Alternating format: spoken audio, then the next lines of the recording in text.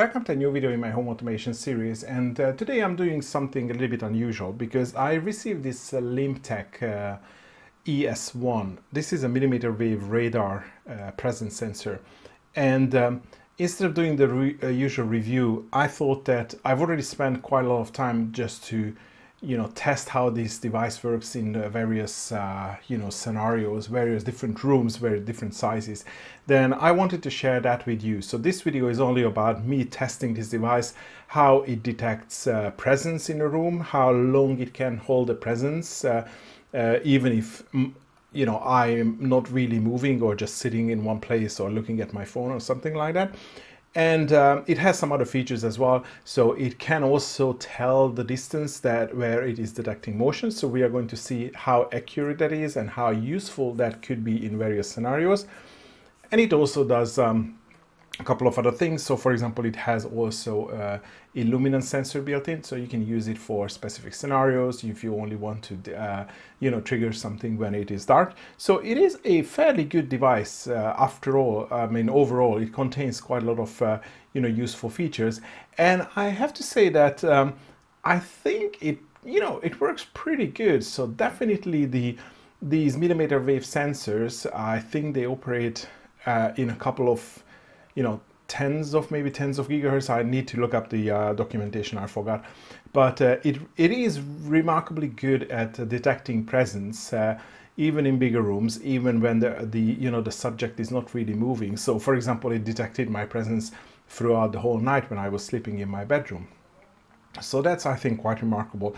And also the, the distance uh, detection is also not very quick but it is you know fairly consistent and fairly effective. So again you can use it to create scenes where let's say if you if i'm this part of the room that i'm going to do you know maybe i'm going to light certain lights but if i'm on the other side of the room based on the you know the detection uh, the distance detected that i'm going to turn on some other lights in the room so I think they are definitely, uh, you know, uh, worth looking at. It's, uh, you know, a nice uh, looking device. Uh, it is just a detector. You get some USB cables with it and you also get this magnetic uh, sort of like holder where you can put it on something and it just magnetically locks onto that. So it is very easy to mount. And yeah, let's dive into the video and then hopefully I would shortly follow it up with um, sort of like a more regular video when we see how it looks like in various applications. Oh, I haven't mentioned this is Zigbee one, so we should be able to test it in various applications. Uh, for this test, I hooked it up to my Zigbee to MQTT server so I could analyze and show you the data in a very simple dashboard that I just built in Node-RED. Before I explain the setup scenario, let me just show you what you can see on the small insert. So I am displaying the screen that, well, I'm displaying the data that I got uh, for, out of the sensor over Zigbee to MQTT. And uh, what you see that I specifically set the, uh, the illuminance that we are not really going to look at this, uh, um, well, we are not really re interested in the illuminance, but you can use it for, you know, some special scenarios or automations. But uh, what I actually wanted to just measure really is the occupancy uh, which is obviously true or false. And this is what you see as the blue line. So when the blue line is on zero, then the occupancy is false. So there is no you know no person detected in the room and then when it jumps up to basically just the arbitrary number of 100 then that's when it starts detecting uh, occupancy so you can see at when it you know jumped up from 0 to 1 0 to 100 and then on the sort of like the uh, the maroon or the orange color, you can see the target distance. So this is in centimeters, which the, uh, the device is detecting where the motion is from the sensor. Okay, so the first example was in my study. It is a very small room. It's about six square meters. And I also wanted to test out if it if it behaves worse in a small room as, it, as, as opposed to like a bigger open space. So the uh, the motion sensor or the radar sensor was right in front of me. You can see it. Um, uh, well, see you can see it on the picture, and um, so there was you know the two screens were also close by. I wasn't really sure if it would create any issues with you know how it detects distance or motion, But uh, what you can see from this video is, uh, I mean, I was working on the computer, so I was, you know, I was making some small movements. Obviously, my hand was moving, my, um, you know, my hand, yeah, my hands was moving, either typing or moving the mouse, and I was also like, you know, uh, looking left or right, or you know, scanning the screen and obviously it had no issues you know tracking me and reporting the presence in the room. So i didn't really expect anything else. Uh, i think it is a fairly easy scenario. I'm relatively close to the sensor so that's that's you know that's good as sort of expected. What i also noticed right in the beginning is that um, the distance was fairly constant. It's not you know correct distance because uh, let's say i was sitting like what about 30 40 centimeters from the sensor? So that's sort of like a feet or over a feet. And it was like showing if i remember correctly like 86 uh, centimeters. So that's definitely more than uh, what the uh, what the actual distance is. And then what i tried is that i left the room. And i left the door open but i walked you know pretty far away from the from uh, into the kitchen from my, my study so I was definitely not around the corner, like, uh, you know, on the other side of the wall, because sometimes these things can see through the wall. But it took about, you know, it took some time until the device actually said that, uh, you know, there is no longer presence in the room. And you can see that the distance sort of like hovers uh, into the upper limit. So I think for this test, I set the distance uh, to, no, actually I set it to 2 meters and 24, uh, 25 uh, centimeters which is definitely more than the width of the room.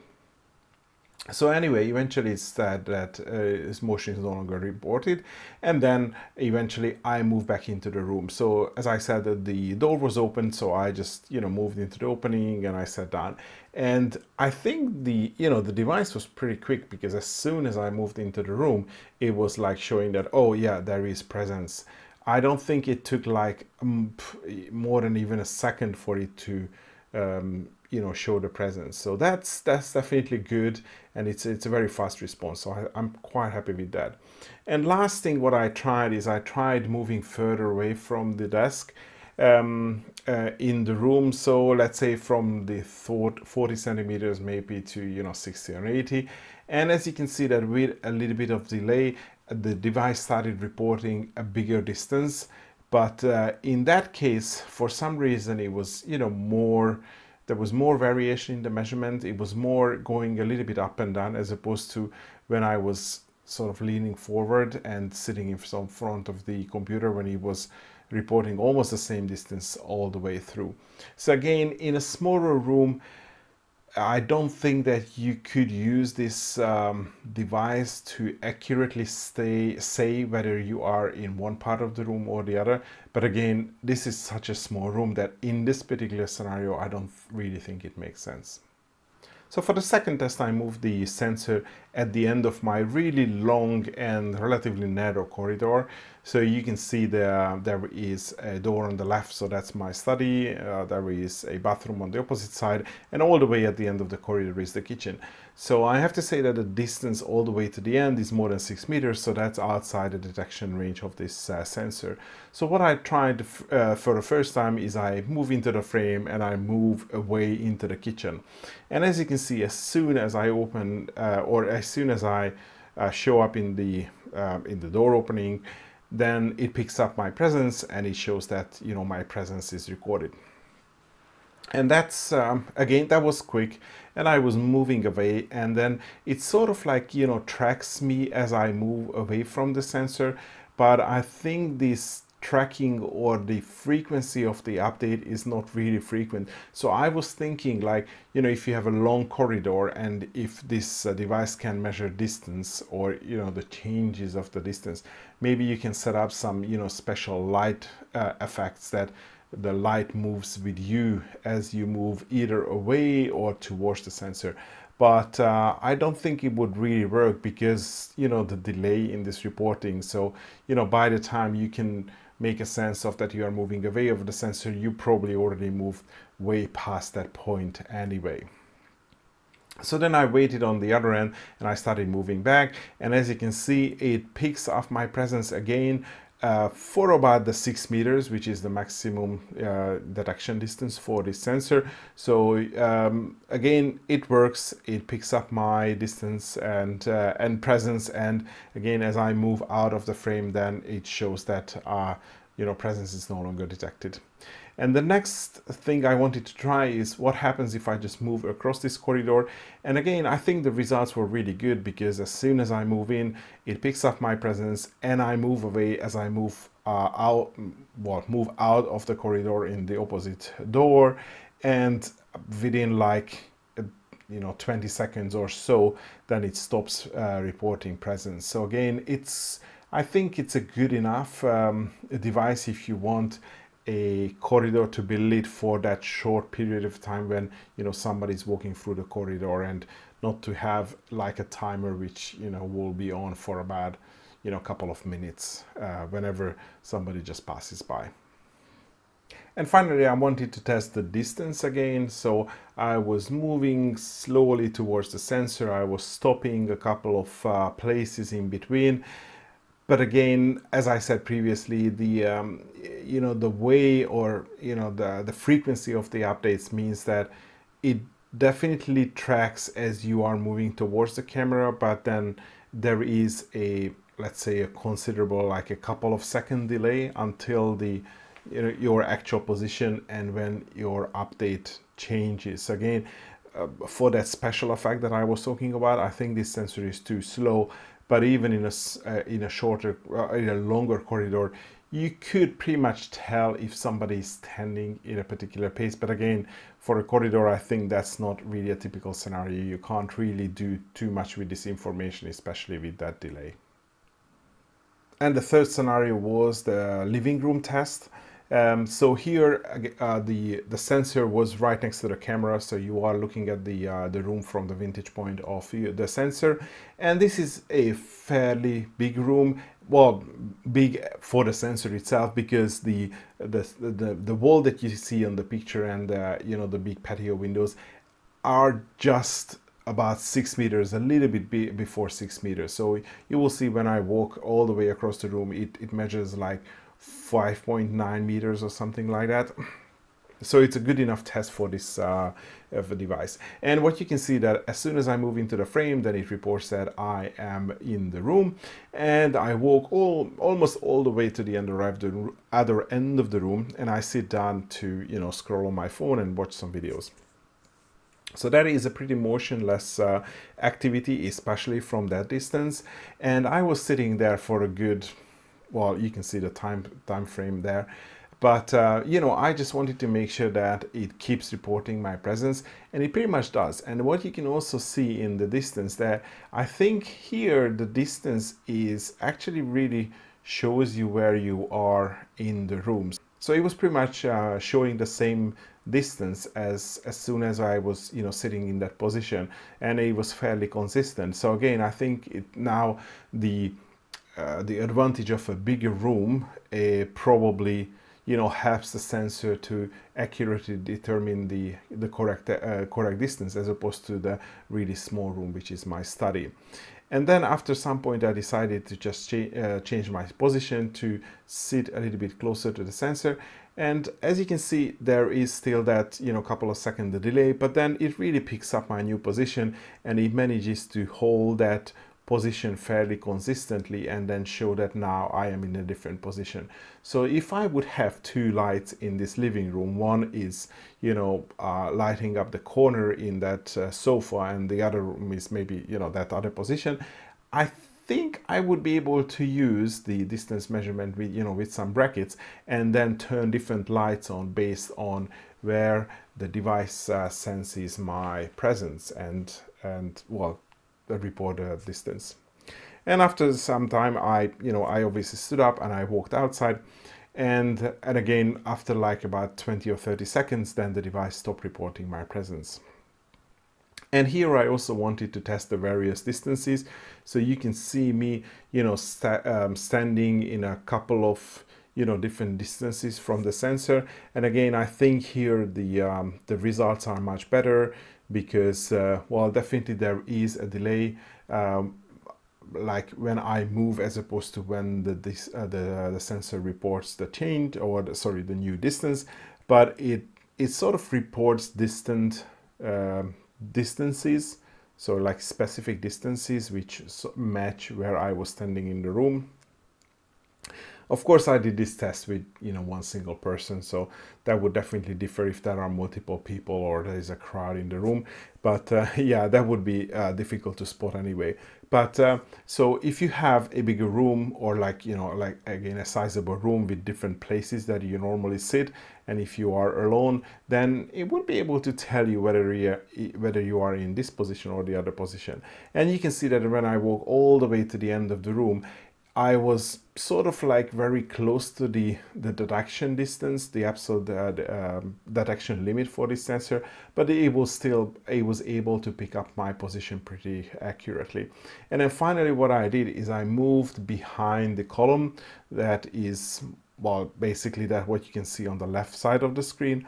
And even though I was sort of in the same room, but I was just uh, standing behind the column, more or less motionless, and then it stopped reporting the um, the the presence. And that was something that I wanted to test because obviously these radar sensors these high frequency radar sensors bounce around much much more easily. Uh, so sometimes they can see behind stuff or behind the sensor but it is not really the case for this one. So if it doesn't really see you in the line of sight it's not really going to report you as um, as the presence well, uh, yeah, it's not going to report a presence. And I also done pretty much the same where I was, uh, well, you can't really see the video of that, but I was trying to approach the sensor from the side. And uh, so I noticed that this sensor has like a 120 degree field of view. So it definitely doesn't see like 180 or even behind itself, which I think it's, it's definitely more useful because it's sort of like in line with what we also how we get used to the, all the PIR sensors. So uh, I think that's also a good result.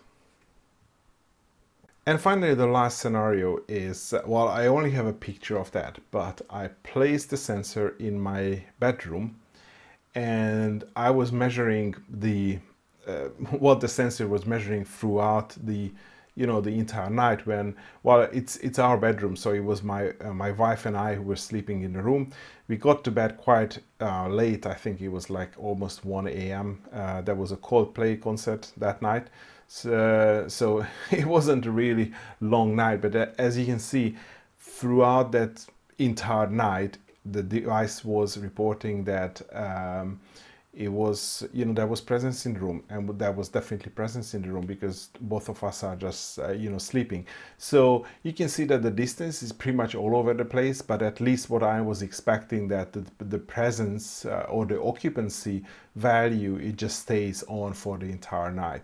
And um, i heard that with these millimeter wave sensors they can detect sort of like the breathing that well that's the pretty much the same motion what it was able to pick up when i was uh, uh, you know sitting across the room in the living room.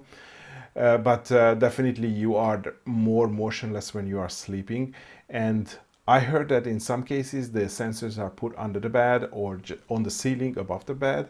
But here I just placed the sensor on a cabinet which is next to our uh, bed. So it was like you know, watching the bed from about like a one meter high distance, sorry, one meter height. Um, and I thought that maybe this is not the best placement for this sensor. Maybe I would have much better results if it's looking directly onto the bed from the above or below but even this position was perfectly fine. As you can see, it was reporting presence all the way to the morning and obviously we got up and then we went downstairs to have breakfast and then it just stopped reporting presence. So I am actually pretty happy with that result as well. So that was it for today. If you are interested in this device, I'm going to leave purchasing links in the video description. But I think that should be all for today. If you are interested, then look out for the follow-up video on the, you know, the more regular review video on this. But um, that should be all for today. Thanks for watching and hopefully see you next video.